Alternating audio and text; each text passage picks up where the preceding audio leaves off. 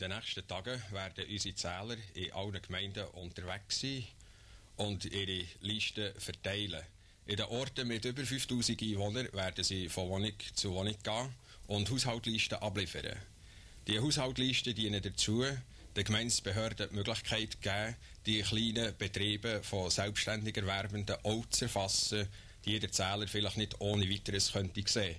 Wir wollen ja nicht nur wissen, wie viele Betriebe das es gibt, sondern wir sollten auch noch einige charakteristische Merkmale in diesen Betrieben können ermitteln Dazu hat man eine Anzahl Fragebogen geschaffen.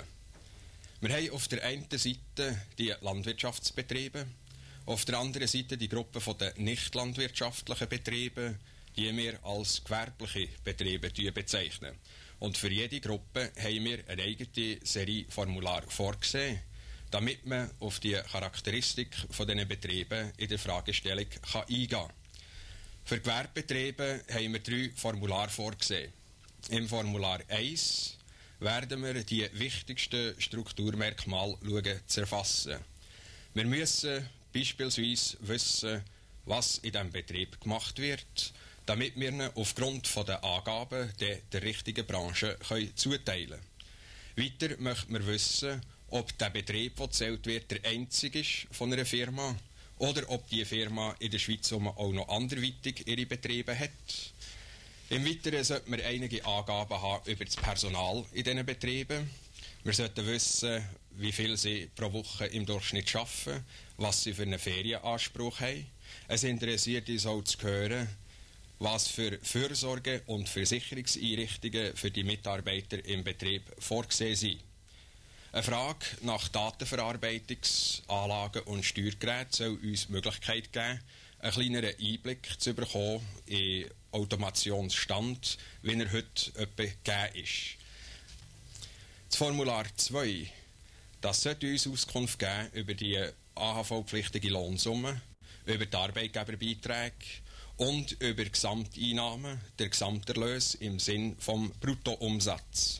Mit dem Formular 3 möchte der Delegierte für die wirtschaftliche Kriegsvorsorge die geografische Verteilung, die räumliche Verteilung vom Energie- und Treibstoffverbrauch rausbekommen und er möchte auch wissen, wo das die Tiefkühlräume, die es gibt, könnte zur Verfügung stehen. Im Formular 4 gehen wir auf die Landwirtschaftsbetriebe ein.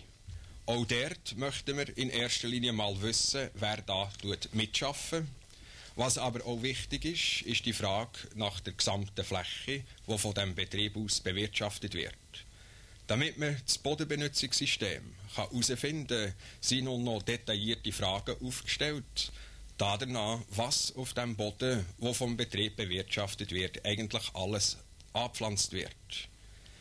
Ein Blick in Stall gibt uns auch wiederum ein paar Merkmale, nach denen wir den Betrieb gliedern können.